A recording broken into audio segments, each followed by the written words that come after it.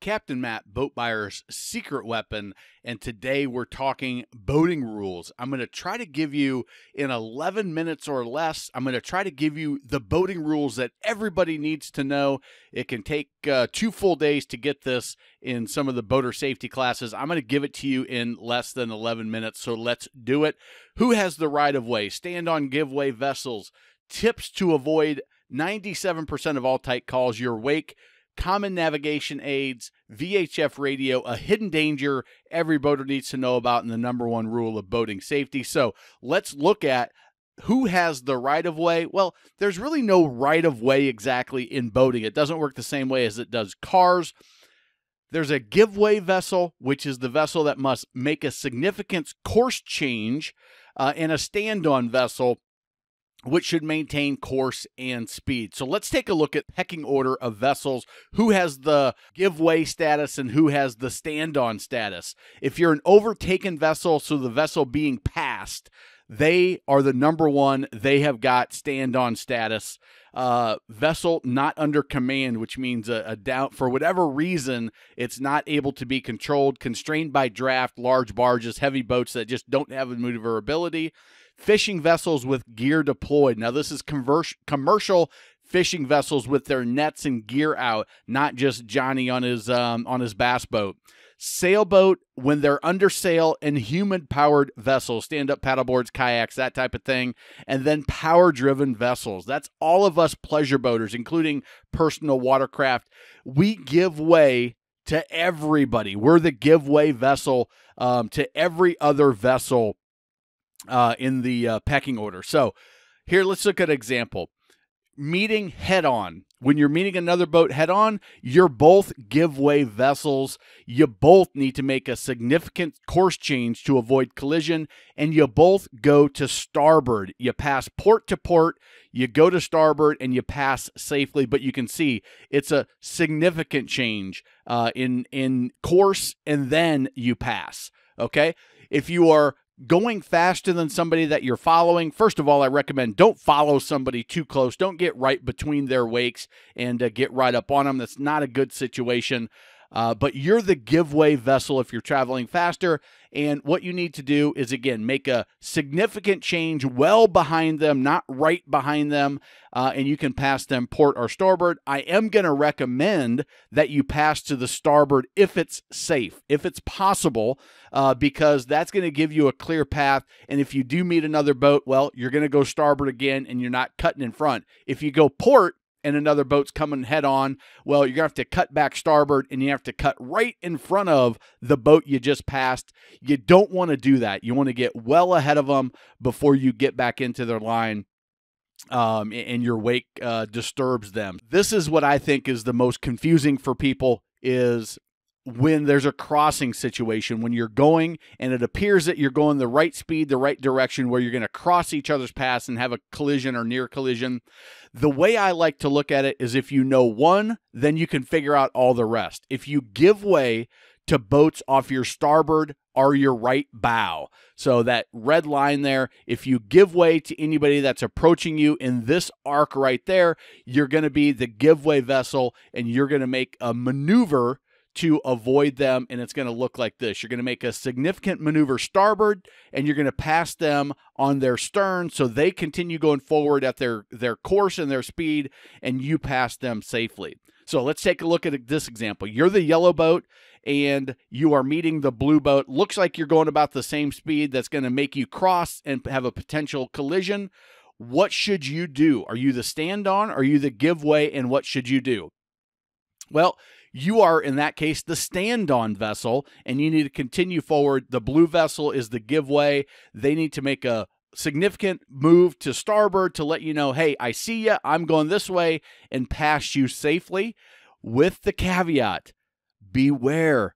Some other boaters may just do something unexpected. So pay attention. It's your responsibility to avoid a collision, um, even if they do the unexpected, the unthinkable, the wrong thing. Okay. So here's my recommendation to you. This is what I teach in my best boat captain on the water training. We'll keep a 360 degree mental map of everybody that you can see on the water their direction, their speed, and their intention. What I mean by intention is what are they doing and what are they likely to do? So, if they're doing water sports, what are they likely to do? If they're tubing, you know they're probably going to do some circles and drive erratically.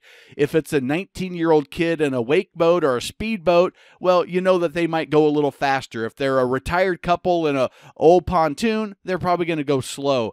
So, keep that in your head as you're cruising and know where the boaters are, what they're doing, what direction, and kind of what to expect from them. And that's going to keep you safe in a lot of situations. So, the seven tips to sum up 80% of the rules of the road. Number one, always maintain a proper lookout or pay attention the U.S. Coast Guard releases uh, accident numbers and fatalities, and like the top three, four, or five, I've done a video on it, are because the boat operator is not keeping a good lookout or not paying attention. So if you do that, number one, you're going to be in great shape.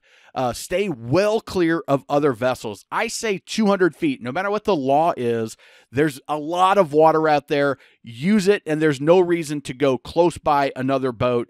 Um, keep safe speed for the conditions, congestion, visibility, weather. Make early and significant course changes so the other vessel knows what you're doing. You're basically saying, hey, buddy, I see you. I'm going to do this, and you do that. It's kind of letting your intentions be known you're responsible for your wake at all times, whether you're in a, a, surf boat making a huge wake with your ballast, or you're just a boat going too slow or too fast, but not fast enough, and you're plowing the water. Come back on that throttle to get all the way to no wake, and uh, because you're responsible for your wake at all times.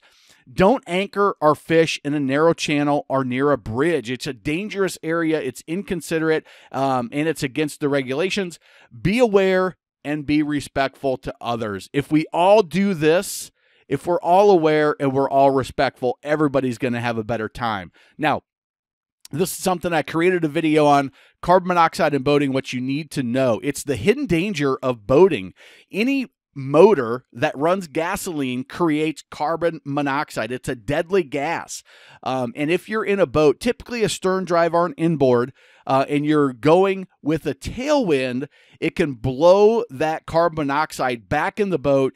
Uh, if you're going, you know, five, seven miles an hour, wake surfing, that kind of speed, it can blow those back in the boat and it can cause major, major problems. Go watch that video. I don't want to go into a lot of detail, but check out that video so you're aware of it. VHF radios. If you need to use it, you need to know how. So, Number nine, channel nine is the primary calling channel. That's where you say, Hey, buddy, I want to talk to you. Um, go to channel, whatever the pleasure boating communication channel. If you're getting to a bridge, channel 13, the Coast Guard's got 22A, and channel 16 is the emergency only channel. That's not the channel you tell your buddy where the fishing spot is or that you're going to your favorite cove. Um, you call them on nine and say, you know, 27 uh, Sea Ray calling uh, 16 Larson. Go to channel 68. You go to channel 68 and then you say, "Hey, we're going to Papadox to to grab uh, some lunch. We're going we're going to head out. Uh, we're going to this fishing spot. It's hot." That's where you have those conversations. Always listen for a little bit before you start talking so you don't talk over somebody. Remember, everybody are on the same channels and us pleasure boaters have our own 68, 69, 71, 72, 78. Um, and be brief because everybody can hear everything that you say. It's just more polite.